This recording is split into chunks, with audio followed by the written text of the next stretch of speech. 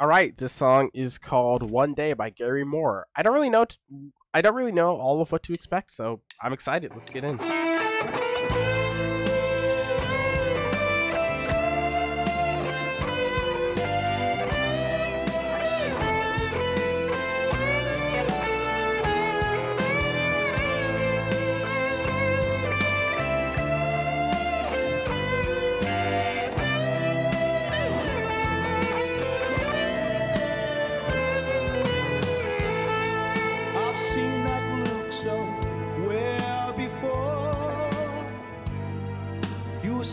That was an amazing way to open this song. You've been this way for much too long. Somebody must have done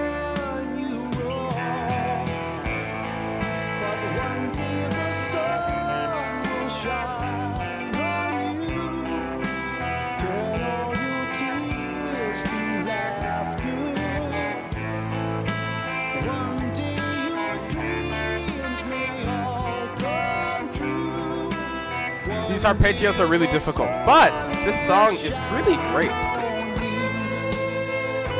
This song sounds like so familiar. I feel like I've heard this somewhere, but I don't know where.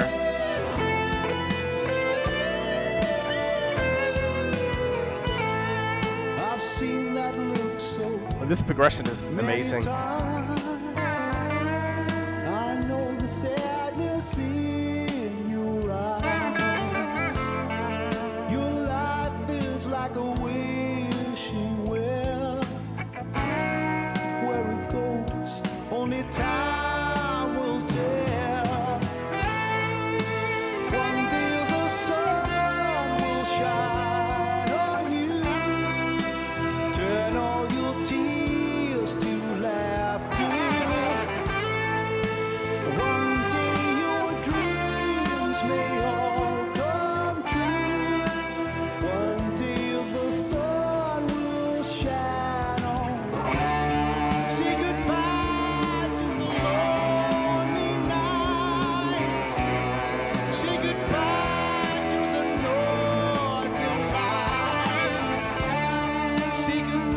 Love that. This song is really relaxing.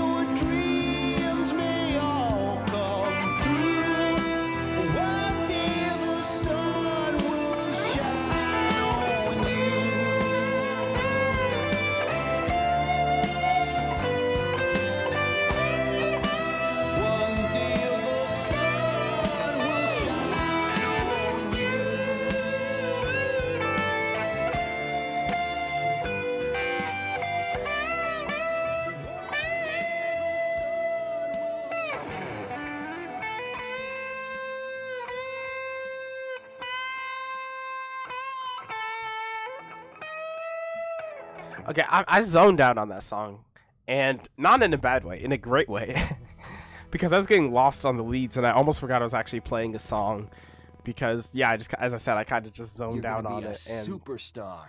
yeah, I almost forgot I was playing a song. That was a great song. I'm sorry, I, I zoned out so much. That was a good song. I love those leads. The leads were great. The music was fantastic, and I love the mixing. The mixing mixing was also really good. So, thank you all so much for watching. Uh, take care. Stay awesome.